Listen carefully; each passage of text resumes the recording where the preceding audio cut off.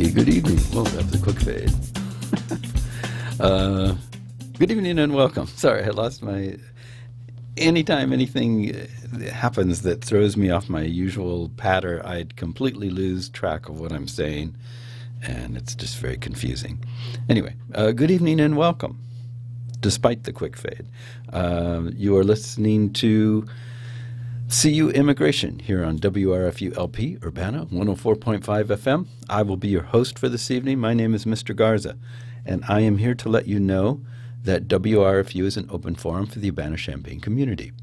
Views expressed are those of the speakers and are not intended to represent WRFU, UCIMC, Urbana Socialist Forum, or, as we like to say on the televised version of this show, UPTV. These views are our own, and by our in this instance, I mean myself. That's it. That's all I've got. Just me, me, myself, and I uh, will be having a, a, a quiet discussion amongst ourselves with you, the listener, uh, trying to speak over this hum that I can hear. I don't know if you can hear it, but it's very loud. I wonder where it's coming from. Anyway, I don't know. Is that it? No, that's not it. Nope, nope, nope. I don't know. Anyway, there's a hum in my ears. If if there's not in your your your ears your ears, that's good. I hope there's not, but uh, I can hear it and it's loud. It Sounds like a machine right underneath me, except there's no vibration. Anyway, uh, be that as it may, welcome to the show. Uh, we'll probably be speaking about DACA since uh, stuff is happening there, or or not happening, or sort of both happening and not happening at the same time. Happening by not happening, if we can call it that, something like that. Um, and I, and I suppose it, it bears reminding the listener why we talk about that topic so much. Um, partly because, well, one, I have a lot of friends who, have DACA, and uh, I'm concerned about what's going on, so I pay more attention to that topic than some. But also, I think um, it's important to remember that uh, DACA recipients are, in a sense, in a way, like the canary in the coal mine, as far as uh, immigrants generally go, because uh, they are the ones who well, it's sort of like backwards canaries, if you if you will, because uh, the canary in the coal mine, the canary would be the first to suffer if you know the air was going bad, and then other more robust um, individuals who happened to be in the coal mine could get out while the getting was good. You know, poor canaries didn't last, but they at least uh, you know helped everybody else get out. Uh, DACA recipients are kind of like reverse, reverse canaries in the sense that they are should be ideally the hardiest of immigrants in terms of uh, being resistant to bad treatment, bad press, um, you know, the the kind of anti-immigrant hatred that you see uh, being so prevalent in some quarters, they should be the most resistant to that. And so when they suffer, when even they suffer, you know things are bad for everybody else. And and so that's one reason why we talk about them a lot because it's like if we can't protect the dreamers generally, um, then there's not going to be much hope for us to protect anybody else. Um, and and so it's it's important to discuss that topic for that reason, I guess. Um, and and which brings me to I'm going to start off with an article which is, is really interesting. The the headline jumped out at me, you know, related to this, uh, and I thought it was really surprising. And I'm I will be looking forward to seeing what this is about. It's entitled Koch, Koch is it Koch or Coke? Koch brothers, the Koch brothers, Koch. Koch-backed group launches ad to pressure Congress to protect dreamers. And and here's my point right here. Even the Koch brothers, um, who are not noted for their uh, lefty viewpoints on anything, even they have uh, their backing protection of the dreamer. So you know, that's got to be that that says something right there about this. So let's just find out what this is about. I, I think it sounds interesting. So I'll read it to you real quickly here. A group backed by the influential Koch network on Monday launched a digital ad pushing for permanent relief for undocumented immigrants brought into the country as children, as the group increases pressure on Congress to protect dreamers. The ad titled We Are Patriots will run on Facebook, Twitter, and Google. It highlights dreamers as Americans and patriots and incorporates messages of economic and family values as an appeal to conservative audiences. This is the first ad campaign specifically on the fate of dreamers by the Libre Initiative, one of the constellation of groups funded through the Koch network, and its first major immigration ad push since the Gang of Eight immigration negotiations in 2013. Monday's ad launch is a part of the group's broader immigration advocacy on behalf of hundreds of thousands of dreamers who could face deportation as soon as March 5th. The Libre Initiative is mobilizing grassroots activists in 11 states and the district, targeting Spanish language media and advocating on Capitol Hill. This situation has an expiration date. We can't afford to kick the can down the road. Daniel Garza, president of the Libre Initiative, said in an interview. We need to stir it up and make sure they, lawmakers, come up with something permanent. Garza said the group wants to put community pressure on immigration hardliners to come around on Dreamers while supporting lawmakers who are working to resolve the issue.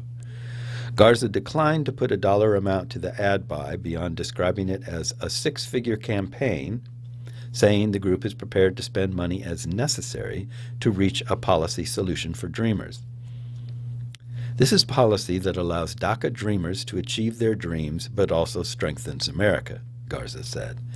We are all in on getting a reform that is going to happen, that is going to allow that to happen.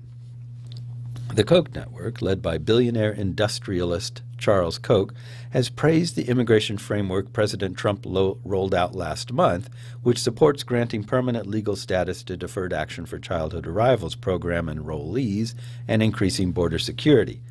But Trump's program also would limit family based legal immigration. The Koch network has said it cannot support arbitrary caps on legal immigration. Garza said the group is working on areas of common ground with the Trump administration on Dreamers and border security and is pushing for lawmakers to act on both, but it will hold its line on legal immigration. We just need to know there's going to be no reduction to legal immigration, he said. So that, I thought that was very interesting. And it brings up a couple of questions that leap, leapt, leapt sorry, leapt to my mind as I was reading it. And one is, is this part of some plot somewhere? Or is this as, as straightforward as it sounds? Um, and it sort of answered at the end of the article my my thought about it being a plot because one could, in pursuit of uh, damaging legal immigration, as Trump's plan does, and as is now it seems to be uh, kind of a standard GOP talking point uh, or, or, point of interest. Um, you could push for action on Dreamers as, as a way of saying, oh, look, you know, these people are worthy. No one else is. Everyone else, yeah, let's get rid of them. But these people are worthy. So, I mean, that's basically what Trump was doing in a way, or that's at least the the kind of the game he was playing. Obviously, what he was doing is is holding DACA recipients hostages in pursuit of drastic reductions in immigration across the board, legal immigration. So the whole concept of you know uh, stand in line and follow the rules and and you'll get in. Well, obviously you won't because they don't want you to. They want you to just. They don't want there to be a line for you. They may be lines for somebody else, but not for you. And so that's that was Trump's plan, and that's what they've been sticking to, and that's why they sabot- sabotaged uh, the Senate deliberations um, a while back, was because they want reductions in legal immigration. They want less immigrants across the board coming into this country. They want to shut the doors, basically, and, and as much as possible, and keep whoever's here here and get rid of as many people that they don't want here as they can. And that seems to be the plan or, or, part of their plan. So I was thinking at first that this Koch brothers initiative was kind of based around supporting that idea obliquely by saying, oh, let's support the dreamers. And the best way to do that is the president's plan, which would, you know, blah, blah, blah. But apparently that's not what they're saying, or that's not how they're saying it. So this may very well be just a reasonable push to protect dreamers. And if so, that's great. We'll take help from anybody we can get it from, even those guys, and they are uh, pretty much bad news across the board. But you know, they support arts and they do all sorts of things. So it's not, it's not like people are all bad or all good anywhere. They're, you know, we're all a mixture of different things, and this just happens to be apparently a good thing that they're doing, and and I support that effort right there. The border security stuff is just sheer nonsense. But, you know, it is what it is. Anyway, so that gives you a sense of of just how golden, if I could put it that way, the dreamers are in the grand scheme of immigration in this country. If uber conservatives like the Koch brothers can be supporting dreamers, that's got to tell you something about uh, you know, the status of that group in relation to all immigrants around the country. And and so because they're they are a specific group. I mean, I know lots of different immigrants and and many who are are shall we say not blessed with the entire uh, array of documents that one might wish to be in order to be fully uh, embraced by the, the uh, U.S. government. But uh, and many of them have really compelling stories, but they're individual stories. So you have individuals where you, that you can point to and say, "Oh, look, this person has been here for 30 years. They're a part of their community. They they do community service. They give back to others. They're loved and and embraced, and all these different things. And and you know." this person has a great story, but it's an individual story. And even though you can kind of generalize on a lot of the points, the farther, the wider you cast your nets, the harder it becomes to do that. And so, um, the harder it becomes to use these as individual, you know, representatives of of a group because they're they're only a group by virtue of being immigrants. and then beyond that, it's like everybody has an individual story and an individual situation. But the dreamers have one consistent factor across the board for all of them that puts them into a category that you can generalize and say, yeah, but they were brought here as kids, they had no control over it, it's not their fault, and so on. So it that gives them a sort of a group status and makes it easier to identify them as a group, to sympathize with them as a group, and to advocate for on their behalf as a group. So I think that's all really very important um, in in sort of tracking public feelings, uh, feelings, the, the, the gauge the temperature of the public about immigration. Um, because when the public generally, or if, not when, gosh, listen to me, that's terrible. Uh, if the public were to generally turn against the dreamers, um, in the same way that there has been this uh, large turn against immigration, immigrants generally, um, then you could say we're in desperate shape. You know, but as long as people are uh, looking at dreamers and going, yeah, but they're different. They deserve something more. They're, you know, whatever.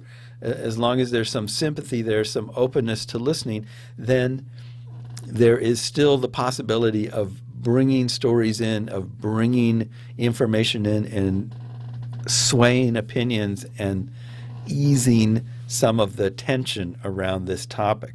I mean, it doesn't help, obviously, that we have this whole, the administration and this whole list of uh, Republican hardliners who are uh, constantly trying their best to create a counter narrative to that and say, oh, they're all bad.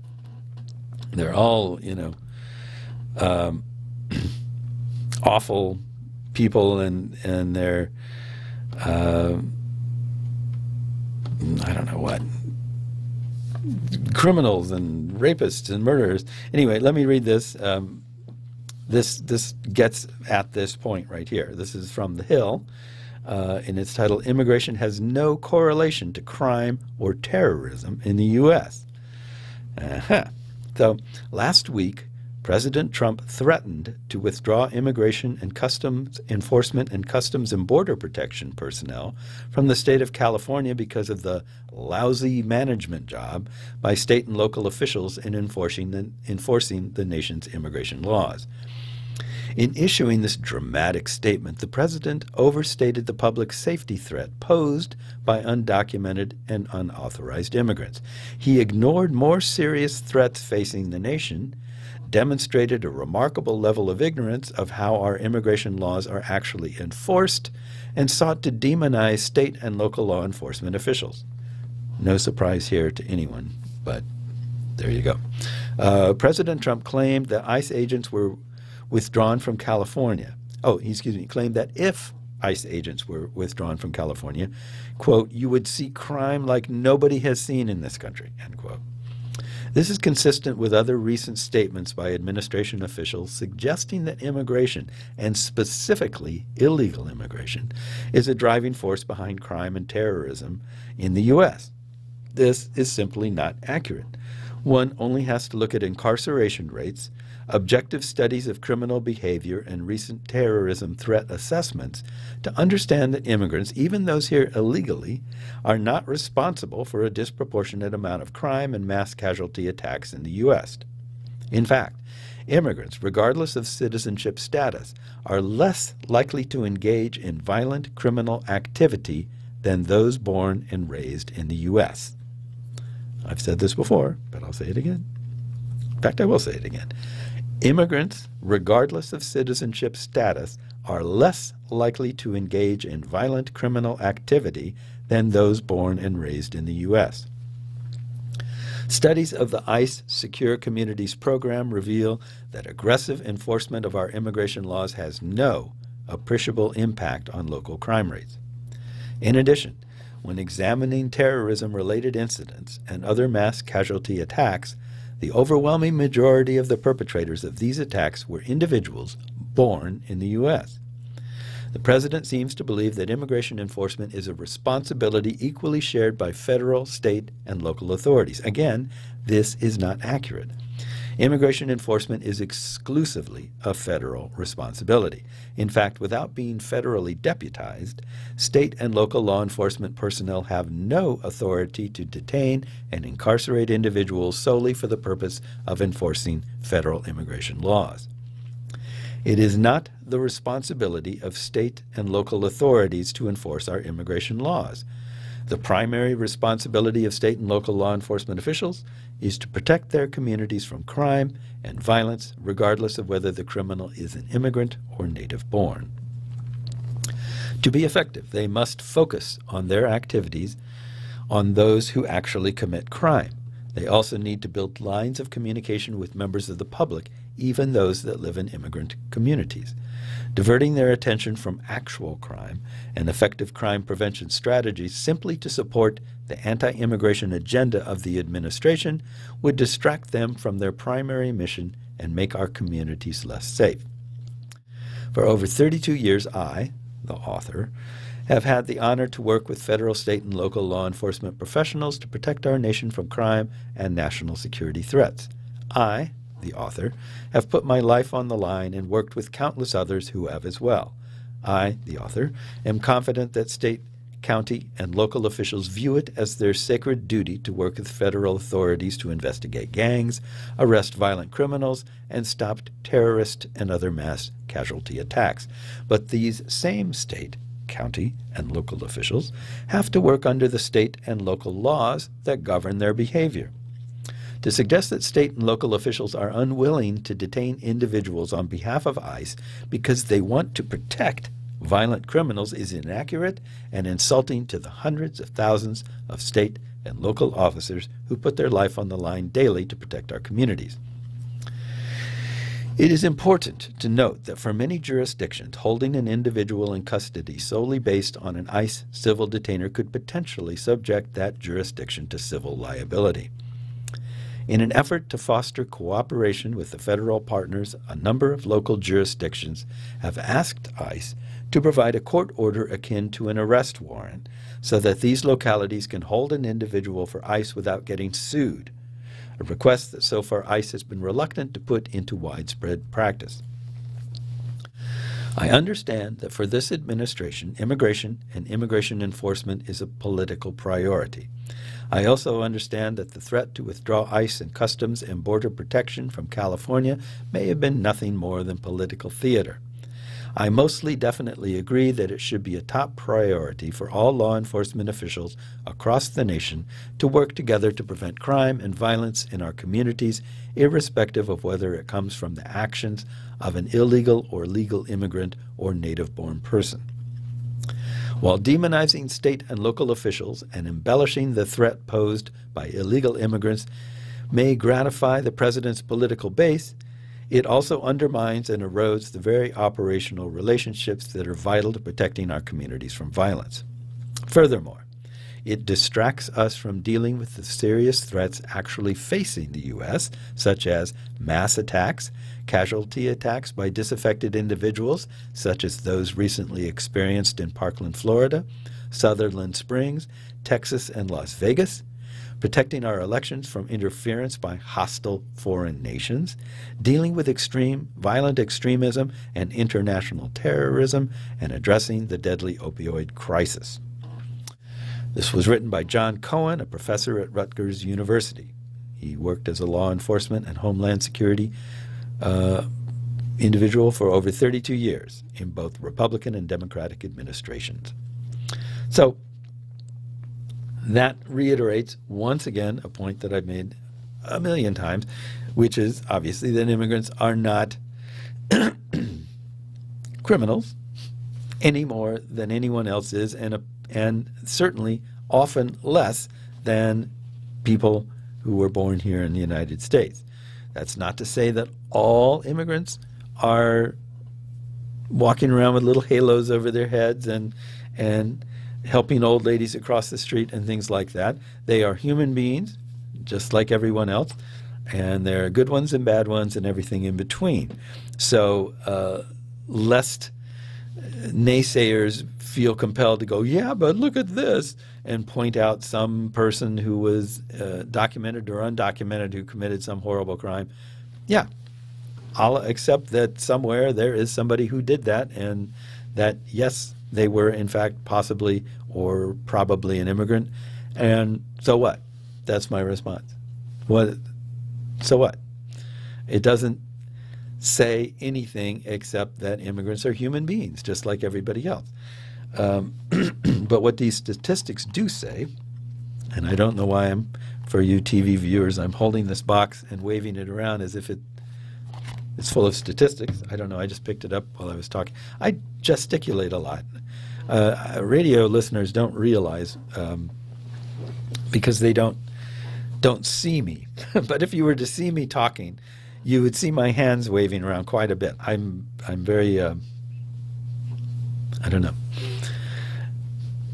I don't know what you call it. It's like uh, it's just something I, I feel compelled to do. I'm I'm reading. I'm looking off at nothing really. I'm I'm generally like not looking at anything while I'm talking. I'm looking sort of toward my computer because it's shiny and bright and it has pictures on it.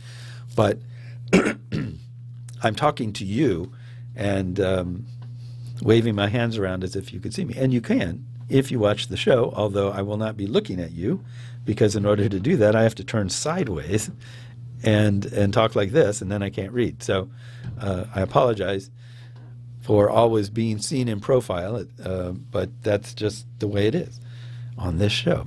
if I could put the camera out in the hallway and point it in, I might do that, except that I could easily see someone walking up and going, oh, hey, here's the camera, and picking it up and walking away long before I had a chance to do anything about it. and you know what? They probably wouldn't be an immigrant if they did that. They might be, but probably wouldn't. Anyway, um, th that's all a long way around saying that immigrants are not a special criminal problem. Um, immigration enforcement is a problem for the government only to the extent that the government makes it a problem um, or sees it or decides that it is a problem. And as I, I don't know if this was the last show or the show before that I was talking about how uh, there are certainly places uh, where refugees are just like pouring into a country from a, a crisis spot and they're overwhelming that country's ability to house them and feed them and, and all those things, and they're uh, creating huge problems. We do not have that problem here in this country. Uh, even at times when immigrants were really coming here at, at a rapid pace, um, it was not a problem. There was no um, you know, refugee camps, immigrant camps. Uh, there were there, you know, there was nothing. They aren't like coming up and then running around uh, stealing food because they can't find a place to live or to eat or anything. None of that has happened in this country, and it's not liable to because we have lots and lots of space and lots and lots of food and lots and lots of jobs and lots and lots of everything.